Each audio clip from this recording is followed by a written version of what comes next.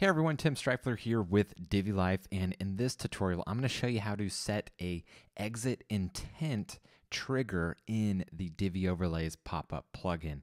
Now, exit intent is a very, very powerful trigger to have in a pop-up plugin because what it does is it will automatically trigger the overlay when the user's mouse starts to leave the browser window. So whether they're uh, reaching for the back button or they're coming up uh, to the URL bar to go to a different website, it will automatically trigger the pop-up when the mouse leaves the main viewport area. And so this is really powerful. It's your kind of your last stitch effort to try to grab that user's attention. If it's an e-commerce site, you might be offering them a, a small discount or you might be offering uh, them some sort of a freebie if they opt in. And so you can do a, a lot with an exit intent trigger and it's very, very easy to do with Divi overlays. And so let's go ahead and show you that now. So uh, inside of uh, Divi overlays, you just open up the one that you'd like to add the exit intent trigger to.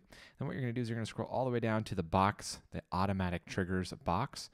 And by default, none is selected, but we're going to go ahead and select exit intent. And then we're going to hit update and that's all we have to do. There's no other settings to configure because anytime the mouse leaves that viewport, it's automatically going to uh, trigger it. So I'm going to go ahead and refresh the front end of this page here.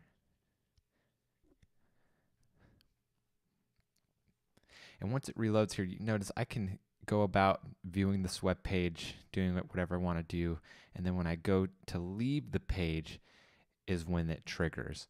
And so you can see here it does it automatically. Now it's going to continue doing that exit intent trigger over and over again if I continue closing it and then having my mouse leave the viewport. However, what you can do is you can uh, check the box to display once per page load and click update. I'm going to go ahead and refresh this page here.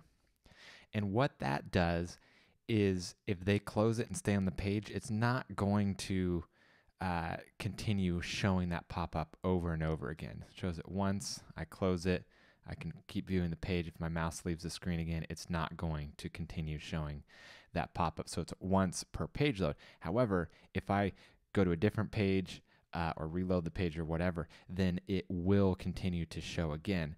Uh, and so there's we have another feature in place to uh, that will change that. So for example, if you want once they close that pop-up, that exit intent pop-up, for it to not show again uh, for seven days, 30 days, uh, 99 days, you can do that using our close button cookie expiration. So all you do is come over here to the close button customizations and set the close button cookie for however many days you want. And what that means is, is once they close that pop-up, it's not going to show again for the specified number of days. So if they come back to your website within 20 days in this example, it's not going to show them that pop-up again, assuming they're still using the same browser.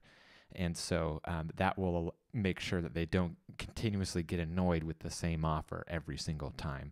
And so that's how you use the exit intent trigger, as well as the display once per page load, as well as the uh, close button cookie expiration feature within Divi overlays. Uh, hopefully you found this tutorial helpful and we'll see you on the next tutorial. Take care. Bye-bye.